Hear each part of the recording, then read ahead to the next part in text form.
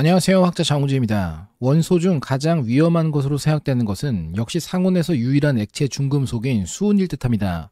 환경 및 생명체의 독성을 보여 진시황부터 현대 산업에서의 유출까지 수많은 문제를 일으켰던 원소입니다. 물론 다른 측면에서는 연금술의 발전과 초전도 현상의 발견 등 의미 있는 결과도 많았지만 수은에 노출되기를 원하는 사람은 이제 아무도 없을 듯합니다. 오늘 이야기는 멋을 내기 위한 수은의 사용에서 시작된 미친 모자장수 증상에 대해서입니다. 미친 모자장수라는 캐릭터가 등장하는 것은 루이스 캐럴의 이상한 나라의 앨리스로 알려져 있습니다. 어린이와 성인 모두를 위한 동화로 유명하고 디즈니의 초기 애니메이션 중 하나로 엄청난 인기를 누렸죠. 물론 배경과 환상적인 설정들 그리고 독특한 등장인물들이 매력적이었기 때문이며 실사화를 통해 영화로 제작되기도 하고 속편인 거울나라의 앨리스까지도 이어집니다. 앨리스라는 매력적인 아이콘을 활용해 제가 대학원 시절 교수님 몰래 열심히 플레이했던 아메리칸 맥기의 앨리스처럼 정말 매력적인 파생 장르들도 풍부합니다. 수은과 관련된 오늘 이야기의 주인공은 앨리스 속 등장인물 중 회중시계를 들고 바쁘게 뛰어다니는 흰 토끼 그리고 기묘하게 웃는 채셔 고양이와 더불어 산만한 모습으로 등장하는 미친 모자 장수에 대해서입니다. 앨리스 속 삽화를 보면 티타임을 즐기는 등장인물들을 볼 수 있는데 왠지 도박마처럼 보이는 앨리스의 모습도 흥미롭지만 그보다 더 독특한 것은 Mad Tea Party의 일원들로 미쳤다는 의미로 머리에 지푸라기를 꽂고 있는 3월 토끼, 계속해서 자면서도 대화에 참여하는 겨울잠쥐, 그리고 모자를 쓰고 있는 미친 모자장수의 모습입니다. 이름대로 모자장수처럼 미친이라는 관용어가 있을 만큼 미친 사람의 대표적인 상징으로 그려지곤 하는데 도대체 모자 장수가 무슨 죄가 있는 걸까요? 모자 장수, 정확히는 모자 제작공의 증상에 대한 상세한 논의는 1946년 게재된 British Journal of Industrial Medicine에서 찾아볼 수 있습니다. 쉽게 화를 내고 당혹감을 보이며 삶에 대한 어떠한 즐거움도 느끼지 못하는 것처럼 우울한 모습, 그리고 계속해서 직업을 잃을 것을 두려워하는 걱정과 불안으로 가득한 태도, 소심함과 자제력을 상실한 모습은 물론이고 종종 도구를 내던지며 분노를 폭발시키는 조절 장애의 모습, 여기서 끝이 아닙니다.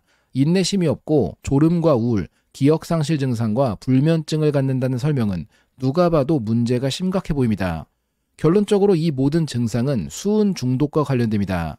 수은 중독의 가장 특징적인 증상은 떨림인데 일반적으로 손가락에서 시작해 눈꺼풀, 입술, 혀를 떨게 되고 악화되면 팔과 다리로 떨림이 이동해 걷는 것조차 어려워집니다. 이 증상이 너무나 확연하고 공통적이어서 19세기부터 모자장수 떨림이라 표현되었습니다. 현재는 다양한 소재가 있지만 과거 모자를 만드는 주 재료는 동물의 털이었습니다.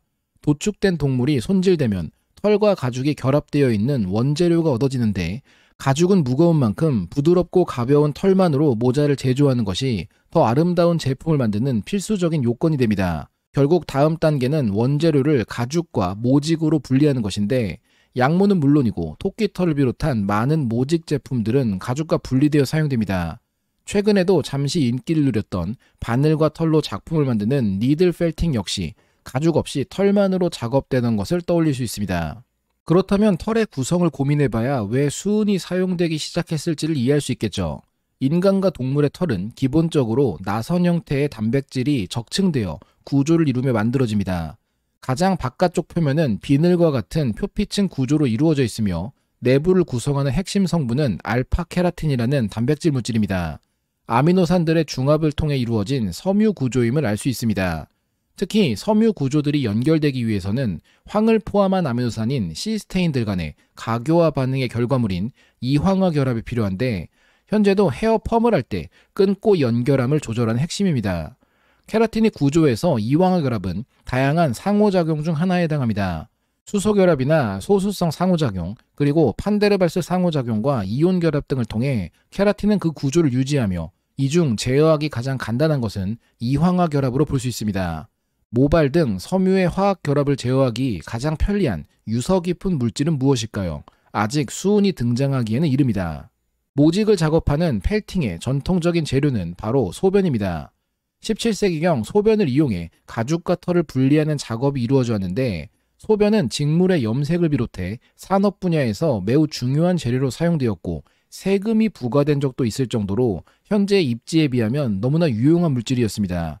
심지어 생산도 인간만 있다면 자연적으로 가능했으니 말이죠.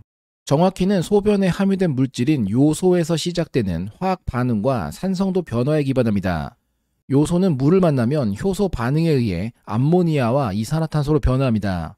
암모니아는 물과 만나 암모늄 이온과 수산화 이온을 형성하는데 이는 알칼리성 환경을 만들게 됩니다. 자연 상태의 양모 등은 pH 3에서 7 정도의 약산성 환경을 이루고 있습니다. 하지만 소변 내 요소의 분해는 pH 8에서 9의 약알칼리성 환경을 형성하게 되며 이 조건에서 양모 등의 케라틴 표피층이 열리며 비벼줄 경우 마찰을 통해 섬유들이 서로 얽혀 직물을 이루기 쉬워집니다. 영화 등에서 빨래하는 것도 아닌데 직물을 비벼대는 것은 가죽에서의 분리와 더불어 모직을 형성하기 위해서입니다.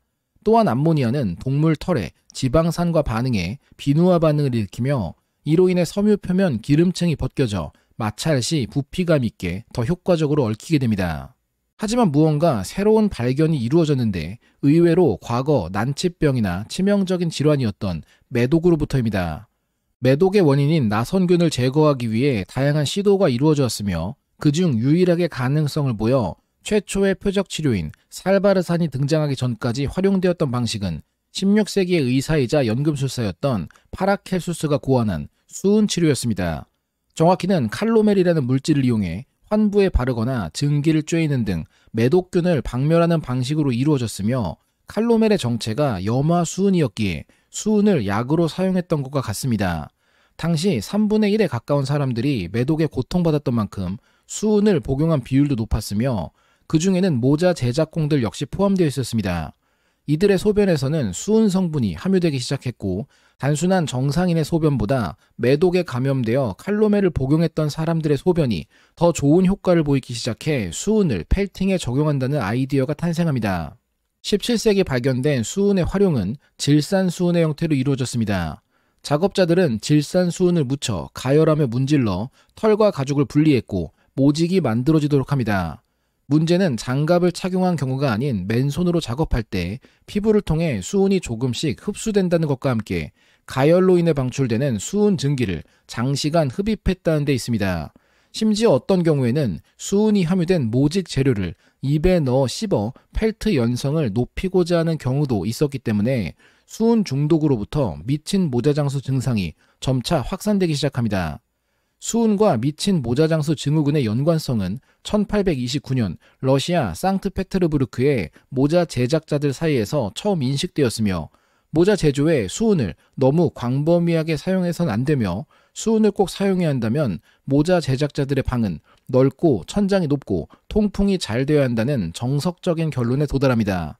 하지만 널리 알려진 수은의 위험성에도 불구하고 19세기 후반까지도 모자 제조업체 중 안전 조치를 취한 경우는 거의 없었습니다.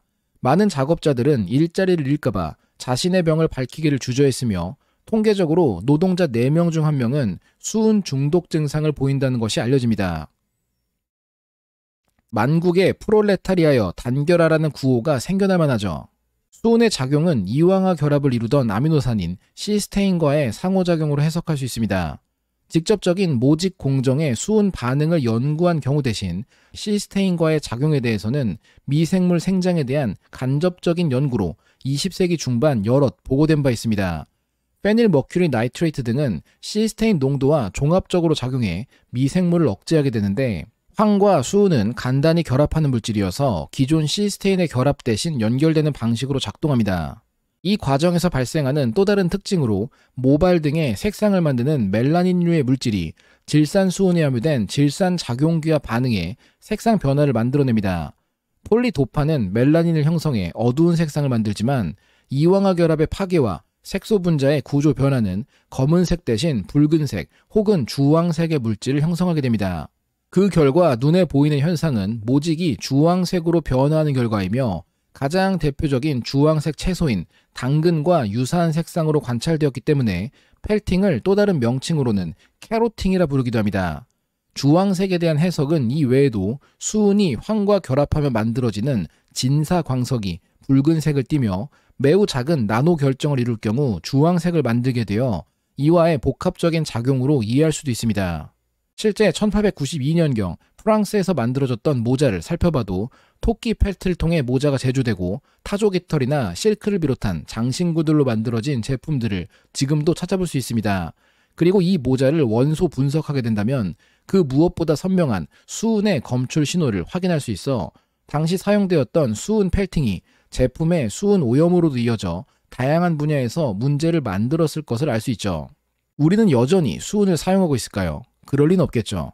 아이러니하게도 모자 제작에 수은이 사용되지 않게 된 것은 노동자를 위한 배려나 환경과 건강 문제에 대한 우려 때문이 아닌 세계 2차 대전의 진행 경과에서 수은 가격이 높아졌기 때문에 사용할 수 없게 되어서입니다.